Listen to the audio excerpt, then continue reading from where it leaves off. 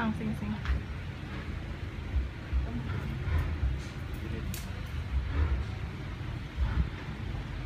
Lord, may these rings which we bless in your name grant that those who wear them may always have a deep faith in each other.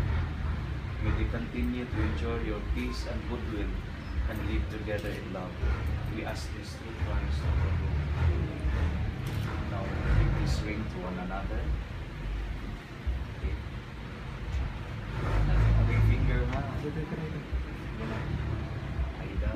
wear now uh, wear this ring as a sign of my love and loyalty. In the name of the Father, and of the Son, and of the Holy Spirit. Amen. Okay. Imagine ko na ako nagkasal mo. Tawa ka man dyan na. Paano ko na? Renewal ko na. Renewal. Wear. Danny, Danilo. uh, wear this ring as a sign of my love and loyalty. In the name of the Father, and of the Son, and of the Holy Spirit. Amen.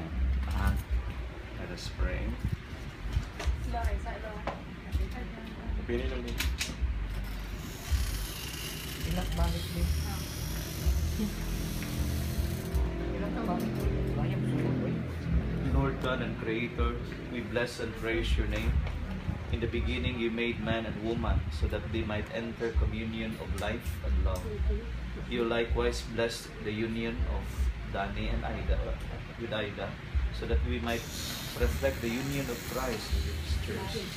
Look with kindness on them today amid the joys and struggles of their life. You have preserved the union between them. Renew their marriage covenant. Increase your love in them and strengthen their bond of peace so that surrounded by their children, they may always rejoice in the gift of your blessing. We ask this through Christ our Lord. Amen. Mga bata, tigo para sa blessing.